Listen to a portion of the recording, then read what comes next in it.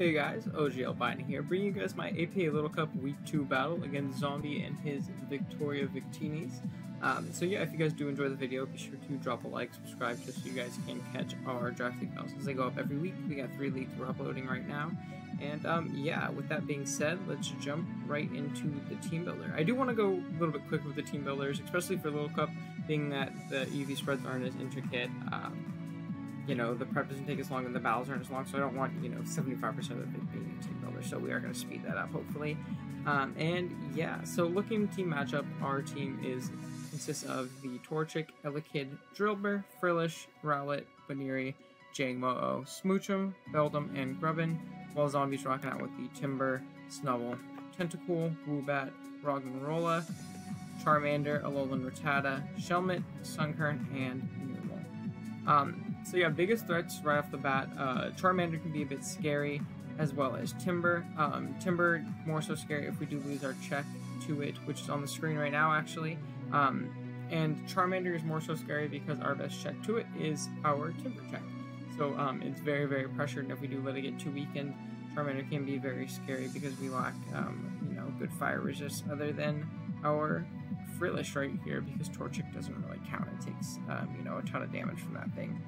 Um, but other than those two, biggest threat by far is the Alolan Rattata. That thing can pretty much just one-shot my entire team, especially if hazards go up.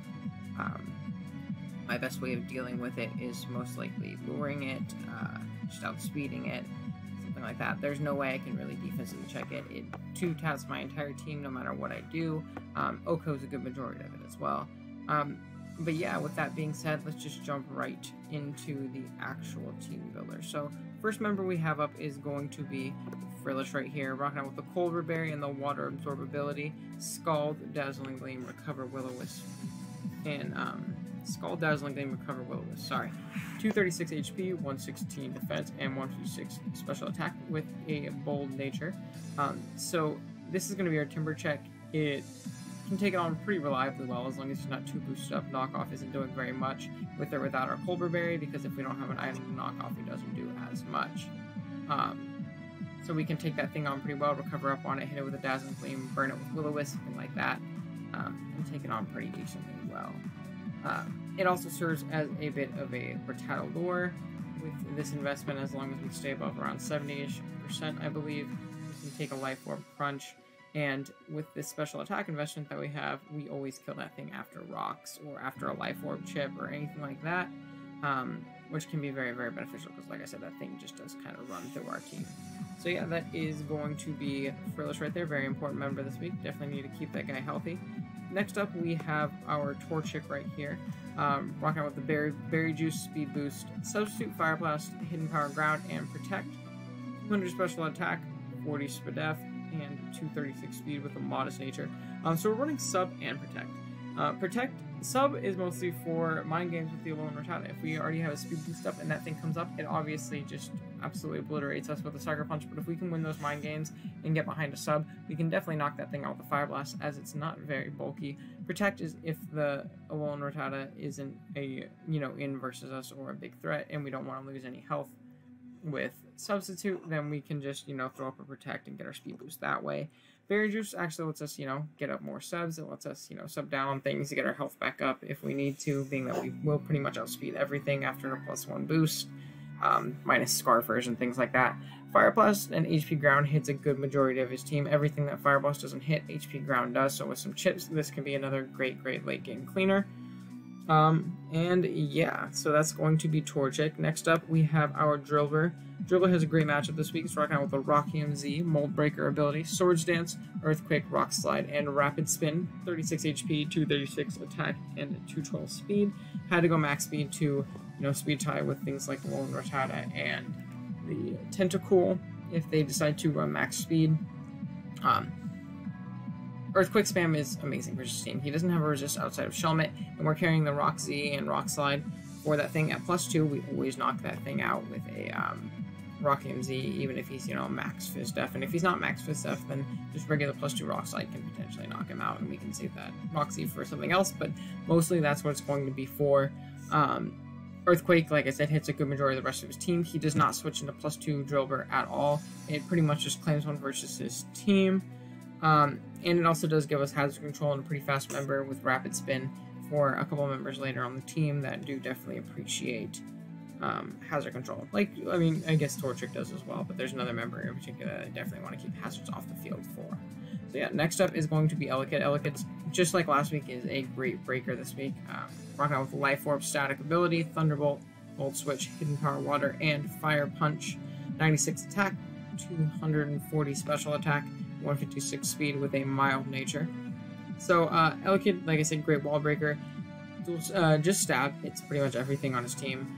Um, the only things that, you know, don't really get to a KO by Volt Switch and Thunderbolt are going to be the Numel because it's immune, but if he is not, um, we can pretty much always knock that thing out with a Hidden Power Water, being that it is a 4 times weakness um, with the Life Orb and the plus special attack nature, and then Fire Punch hits the Shelmet. If he is Spadef Shelmet, he can potentially take two of our Thunderbolts, and if he's Spadef, then our Fire Punch can KO him um, that way, which is very, very nice. Um, so yeah, I look at very nice. Also, speed control versus team. He doesn't have anything that can outspeed other than Scarfers.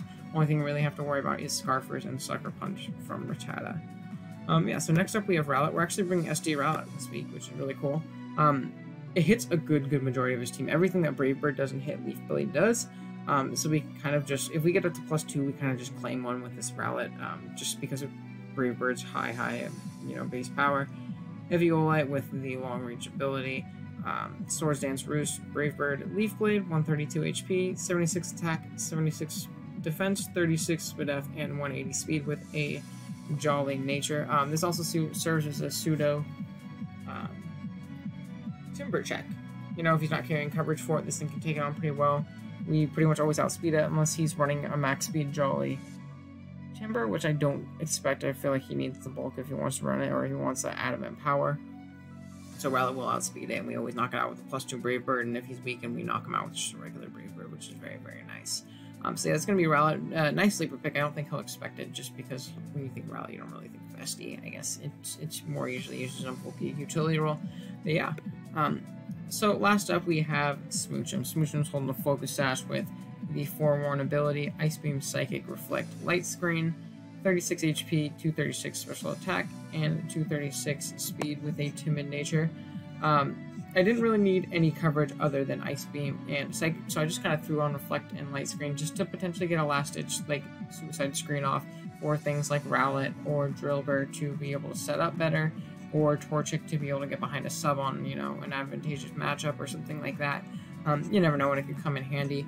We'll hold the Focus Sash because actually if we can keep rocks off the field or spike off the field with Drillbur, um, this can also kind of lure the Rattata. After one, after any chip damage, Life Orb, anything like that, um, to Rattata, we always knock it out with Ice Beam. We have a 50% chance to knock out No Bulk Rattata with just, you know, Ice Beam from full, which is very, very nice. Um, I think this is one of his ways he's going to think, oh, I can come in and revenge this thing pretty easy. So if we can keep that Sash intact and potentially lure and knock that thing out, I think it could be amazing. Um, I, I, thought about, you know, maybe running, um, you know, like Colbur or something like that, but we still dropped to it just because base 15 defense is definitely not going to help us out in that. Um, but yeah, that's going to be Smoochum, and that's the whole team. Uh, let's jump right into the battle. Alright guys, here we are with the battle. So looking at the team that Zombie Electrobrain looks like he went with the Tentacool, Numel, Snubbull, Shelmet, Rattata, and Charmander. So right off the bat I noticed no Timburr, which does take a lot of pressure off my Frillish and keeping it healthy for that thing as it could be very, very scary versus my build. Um, which is very, very nice, but he did bring the Alolan Rattata, which again is the biggest threat to my team, so we definitely have to play around that, and the Charmander very well. Um, noticed that he did bring a lot of potential hazards, so keeping uh, Drillbur healthy in order to, you know, potentially rapid spin those away for things like Elekid and Torchic that appreciate taking them, and uh, Smoochum to keep it sash intact. Very, very nice and uh, something to keep in mind. So right off the bat, I am going to lead with my Smoochum just because I can 2-tap pretty much everything on his team not named Shelmet. While Shelmet is a pretty likely lead, I have some nice pivots into that thing, and I want to get in potentially before my uh, before hazards go up, so I can you know get a big hit off on something, you know, to a KO something before I do lose my sash. Um, so yeah, with that being said, let's just start the battle really quick. So yeah, I am going to lead off with my Smoochum as he'll actually lead off with the Shelmet, which does suck, but like I said, I do have pivots into this. Um, I'm going to go into my Torchic right here, expecting him to get a hazard up right here.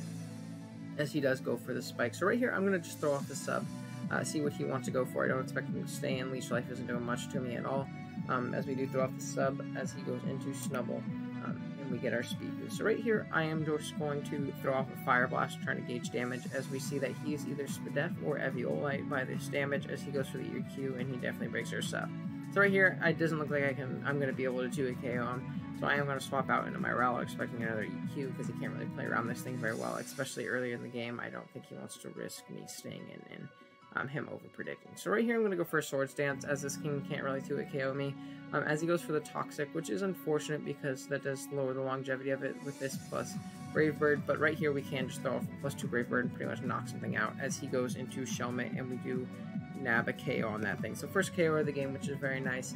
Um, it means if we can rapid spin that spike away, no more spikes for the rest of the game, as he elects to go into his Charmander. And I'm going to pivot into my Frillish, um, take 31%, I believe, yeah, from the Flare Blitz, and then get burned, unfortunately, which does, um, does you know, hurt our longevity stuff like that, being that we don't have any residual, as he does go for the Thunder Punch. I don't know if that necessarily mattered a bunch um, with the burn chip in it, so I'm not going to call hacks, but um, yeah, super unfortunate that does end up going down. So right here, I'm going to go into Drillbur, um, and expecting him to want to swap out of this thing, I am going to just go for the Rapid Spin to get that spike away for my Torchic and my Sassamudram in the back. And so right here, I am going to switch out into my Rowlet, um, as I can take a Play Rough into Poison from this thing um, and get off a big Brave Bird um, and take myself out due to recoil, but still get a big chunk off on this thing and chip it pretty well. So down goes Rowlet, which is unfortunate, but did its job. Smoochum's going to come in right here um, and pretty much pick up a 2-hit KO on anything as he elects to leave in the Snubbull and let that guy go down, which is very, very nice because no more Intimidate Shuffling for things like my SD Drillbur. As right here, he is going to go for the Breakneck Blitz on his Alolan Rattata as he goes in, but we are Focus Sash, so we're going to stay in and hopefully get the roll, which we do not, so he does live on just a sliver, which is unfortunate. Um, and down goes our... Um, down goes our Smoochum, which is unfortunate, uh, but I'll take it. It's it's all good. It weakened enough to where I can just go into Elekid and click Empower Water, as he elects not to click the Sucker Punch, which was a bit odd, but hey, I'll take it. Um, and right here, we're going to go for Hidden Power Water on the Numel, as we can usually knock it out, but he is Berry, which is a very cool bring, so we are he is able to avoid that um, KO and bop us back with the Earth Power. So right here, I'm going to go right into Torchic. I'm just going to throw off a Hidden Power Ground, hits everything left on the team, knock out the Numel, which is nice because that thing obviously was a very, very big threat. Um, and yeah, that thing's going to go down. As he ends up going into his Charmander, right here, I'm going to sub down just to see what he wants to do. Um, you know, potentially play around it as he goes for the Dragon Claw. And right here, I'm going to sub down again just to get completely back up to full health due to the Berry Juice. Um, and, you know, potentially take those hits better, depending on his spread and what coverage he has for us. So right here, he is going to go for a Dragon Claw again, obviously break our sub. And right here, I am going to throw off a Hidden Power Ground. As you're going to see, it does a bunch of damage, 66% but he does turn out to be uh, Berry Juice, which is unfortunate. Uh, but he's going to go for a Dragon Claw right here, and you're going to see that he doesn't actually 2 KOs with that, unless he got a super, super low roll. So I am going to be able to throw off another Hidden Power as he goes for a Dragon Claw, and he actually doesn't uh, KOs from that range, which is cool because now we're going to be able to pick off this Charmander um, and leave it to where it's just Tentacruel versus uh, our Drillbur and our Torchic. And if he's Shuca, I can pop it right here with the HP ground and potentially either go and win a speed tie with uh, Drillbur or um, knock it out, you know, you know, just be faster in general. So turns out that he wasn't. We get a crit and bring it down pretty low as he knocks us out with Scald, Nose Torchic. And right here, like I said, all we need to do is win a potential speed tie um, and knock this thing out, as he does outspeed us and knock us out. Found out after the game, actually, though, that he was actually Choice Scarf Tentacool, so it wasn't even a speed tie, um, which is a really, really cool bring on Zombie's part. Uh, Scarf Tentacool never, never crossed my mind. It was a really, really cool bring speed control-wise, just for my stuff that could potentially get out of hand. Um, like if I thought I was safe with a plus one Torchic or something like that. So yeah, GG's Zombie, that was an amazing, amazing game. I had a lot, a lot of fun playing it. Um, definitely a nail biter right down to the end. Um, but yeah, uh, if you guys did enjoy uh, the battle and you want to catch more as they go up, you know, next week when uh, our next little cup battle goes up, or our cap run, which goes up on Wednesdays, uh, that battle should be going up uh, in a couple days, and our NCP Wi Fi run, which goes up on Fridays. Be sure to subscribe Um, and yeah, thank you guys so, so much for watching. Later.